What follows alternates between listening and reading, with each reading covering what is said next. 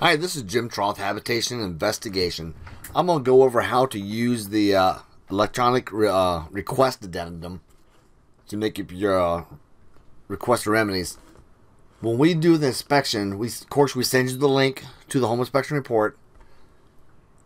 What you normally would do, I, I assume, is you talk to your buyer and you know what they want repaired. Sometimes you went off just a summary, but what we do is we will send you a link that is specifically for that home inspection that we did.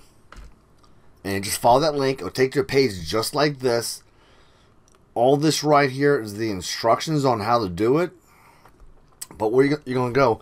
In this house I'm using right now, I have a couple things highlighted that I would expect a uh, home buyer to want you taken care of. Like one thing was, was number five. I'm going to edit that here. Um, we want the repair. And we can add pictures to show what areas we're talking about. Another area was number 11. There's some of the shingles that were damaged. And you can look at that. You can add pictures to that or take, them away. And you can add notes. Uh,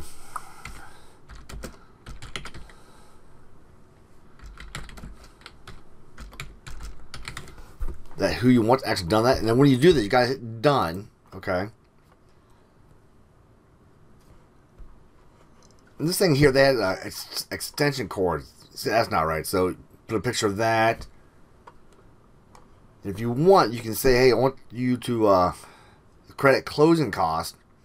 And just, if you know the price, stick it in there. Select done. And this place also had area number 21. We have that in there already.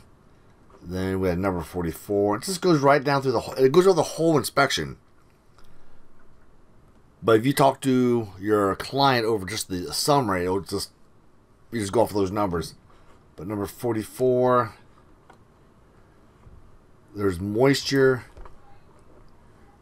and staining. So maybe want them to reduce the price around, because there's uh, moisture on the basement toilets. You can ask them to repair that or uh, replace it, or you can just accept it. Um, this one here, we're just going to put uh, credit closing, $150. Hit done. And if that's all your requesting to be done, come up here. Come to accept the remaining. Looks like, so there's one more that's not quite finished. So I go back here. Hit done. As everything up here is done, then what you do, you would hit uh, the view PDF.